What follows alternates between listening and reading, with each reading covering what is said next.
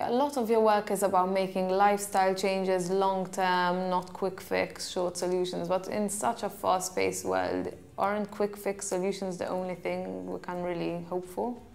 Yeah, I don't. I, hear you, and I mean, I think that's that's something that we've been taught in in our culture that we don't have time. Um, we don't have time for what life. We're living life. Life is going to come and go, and that's the end of it. So, I mean, if we're, you know, God willing, we have 80 years. 80 years is going to come, and we are going to live each one of those days. So, a lifestyle. Uh, versus a short-term quick fix. Yeah, the, short-term is um, it's a moneymaker. It's just a moneymaker. It's um, if I could make a, an analogy, it's like fashion. This is short-term quick fixes, and the reason why is because if it wasn't, purse or whatever you're buying would last for the next 20 years, but and you wouldn't be spending money. Short-term fixes are a fad. It's not the right idea.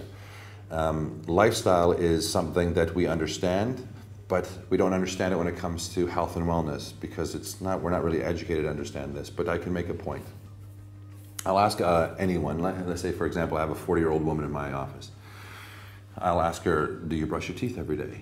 And she says, yes, of course. I said, oh, okay. You shower every day? You clean, you wash? Yes, of course. Like, I mean, yes, of course. I was like, it's like I'm asking a stupid question. Oh, I said, oh, and you're how old? I'm 40. So you've been doing this for 40 years? Yes. Oh, okay. Why?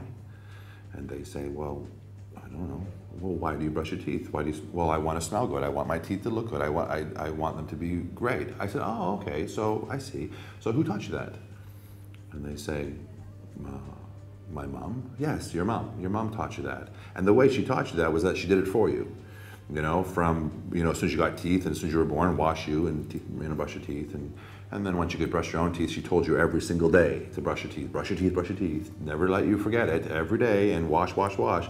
And this continued to go on and on and on every single day. And you really didn't care about it at one point in your life. I mean, at eight years old, if you're out playing in the dirt and eating a mouthful of chocolate and then your mother says it's time to go to bed, you don't care if you go to bed dirty. You don't care if you got chocolate in your teeth either. But she does brush your teeth, shower, constantly, constantly, constantly. And then somewhere in your life, I said to her, this woman, you know, sometime in your life, maybe some, something happened. You saw somebody with really bad teeth, or you saw someone that smelled really bad, and you said, Oh my goodness, I never want to be like that. So then the very next day, well, that day you established a value, a reason why you wanted to do it. And then the very next day, you brush your teeth not because your mother told you or because it was habit, but because you wanted to have something and you wanted to be this way.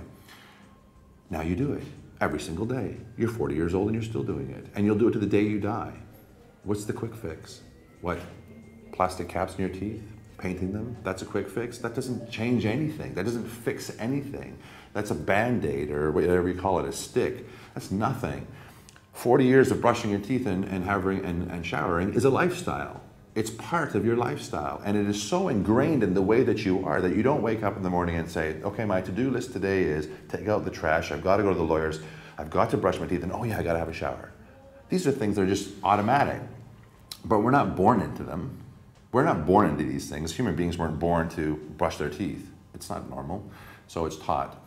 So lifestyle, when it comes to health and wellness, is not something that um, people understand. They weren't taught this thing, and so um, you know, it's it's not something that's it's, it's necessarily a need for them until they understand the importance of it. Until they understand that eating is the one thing that eating or the lack thereof will kill you and it needs to become a lifestyle. And it needs to be something that's implemented into your life so that, that every day you're doing this without thinking that you know that you're not jumping ship and doing a, a, quick fix here, quick fix there, which ultimately is going to harm you and and uh, you know affect your confidence and your self-esteem based on the effect of whether this works or this doesn't work. But rather doing something, eating every day and eating every so many hours because you're feeding your body because you understand the body needs to be nourished because your brain needs to be nourished. This is something that becomes a lifestyle, and in that it's not an effort whatsoever to be to work uh, to to exercise to to work your body to I don't mean going to the gym every day. It could be going for a walk, go, you know, climbing a mountain. It could be, it doesn't make a difference, something active to incorporate, incorporate this into your life on a continual basis so that it becomes automatic and makes a lifestyle. Only make sure life healthier, stronger, better. You're taking time for yourself. You're creating an environment for yourself that is positive and it's really, it, it, there's nothing negative about it. Um, this is something that needs to be implemented. Uh, this is where education comes in because you need to teach people to do these things and not cut these ideas out. Uh, and they need to be number one. Um, that's a lifestyle, and that's something that one can maintain. And if you see someone who actually has a healthy lifestyle, you'll see someone who is healthy, who's confident, who's happy, who's proud, who's strong, who um, has a good life. Uh, and not to say that the people that don't do these things don't have a good life, but it's not going to, it will never be as fulfilling in so many ways. They will, they will run into issues, whether it comes to health, when way too soon. And many things are affected when health is not part of a lifestyle. And it's interesting. I mean, if you talk to people, um, uh, you know, you'll you'll see that individuals will work, you know, 12, 16 hours a day to chase, you know, the money. You know, that's their lifestyle.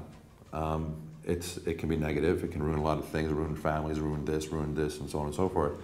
Um, but when it comes to health and wellness and having a better feel for themselves and a better connection with themselves, people don't have time.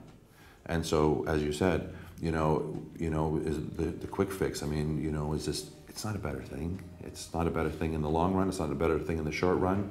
Um, it, you know, from dollars and cents, it doesn't make any sense to do quick fixes because you're going to be spending money repeatedly into something like digging a hole, put your money into it.